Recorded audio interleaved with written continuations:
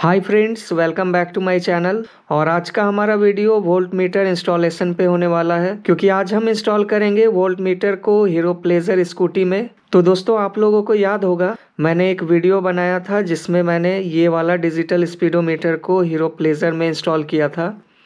जिसमें स्पीड के साथ साथ फ्यूल मीटर ट्रिप मीटर और मल्टीमीटर डिस्प्ले भी था। तो इंस्टॉलेशन तो पूरी तरह से कामयाब रहा और अभी तक सही चल रहा है। पर मुझे इस मीटर के पूरे पूरे सेटअप में कुछ कमी लग रहा था।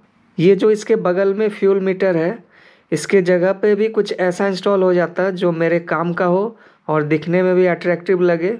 क्योंकि डिजिटल फ्यूल मीटर यूज़ करने पे ये वैसे भी यूज़लेस था। तो मैं कुछ ऐसा देख रहा था जो इस मीटर के साथ मैच कर जाए और मेरे काम का भी हो। तो काफ़ी सर्च करने के बाद मुझे ये वोल्ट मीटर मिला है। ये राउंड शेप में है और इसका कलर भी ब्लैक है, जो कि इसके बगल वाले मीटर के साथ काफ़ी मैच करेगा। ये डिजिटल वोल्ट मीटर जिसमें बैटरी वोल्टेज रीडिंग के साथ साथ बैटरी लेवल का भी इंडिकेटर दिया गया है। इसको आप किसी भी 12 वोल्ट व्हीकल में यूज़ कर सकते हैं। तो इसको इंस्टॉल करने से पहले मैं इसको चेक कर लेता हूँ।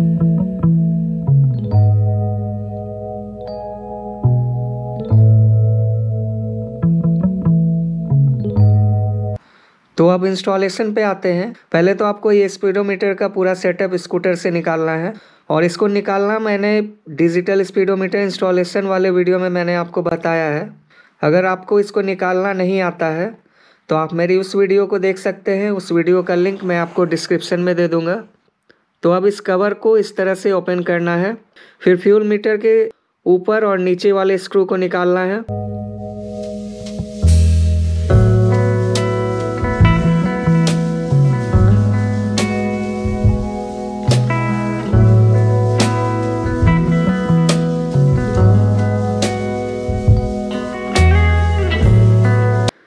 अब जैसे डिजिटल स्पीडोमीटर में इसको राउंड कट किया था, वैसे ही सोल्डरिंग आयरन की मदद से इसमें होल करेंगे।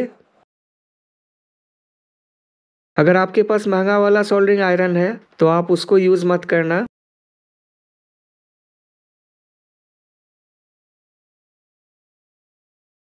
क्योंकि इसका पैनल और पीछे वाला हिस्सा काफ़ी हार्ड प्लास्टिक का है, और जगह भी काफ़ी छोटा है तो इससे ही करना आसान होगा।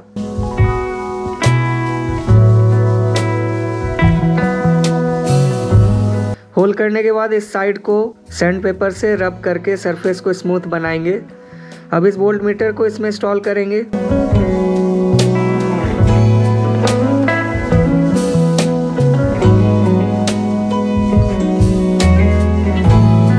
फिर इसके पीछे साइड भी होल करना है, ताकि इसका कनेक्शन हम बाहर की तरफ़ कर सकें।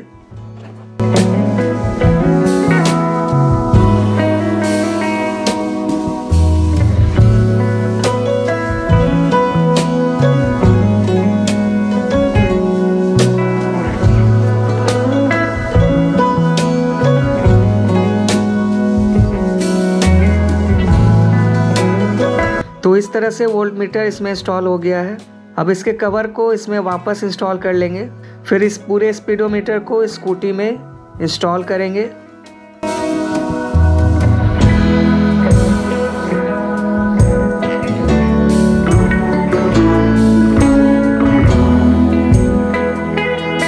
तो अब कनेक्शन पे आते हैं।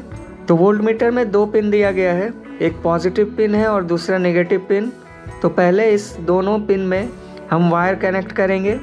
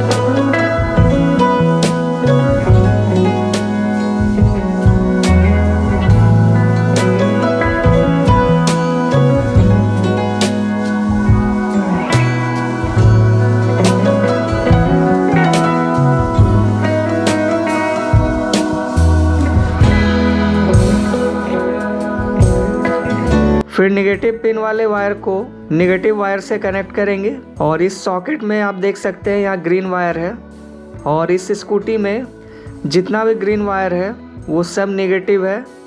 तो हम इसमें ही इसका कनेक्शन करेंगे क्योंकि ये वाला वायर इसके सबसे नज़दीक है। अब दूसरा पिन जो कि पॉजिटिव है, उसको इग्निशन लाइन से कनेक्ट करना है। ये ब्लैक वायर इग्निशन वायर है। इसमें हम इस वायर को कनेक्ट करेंगे।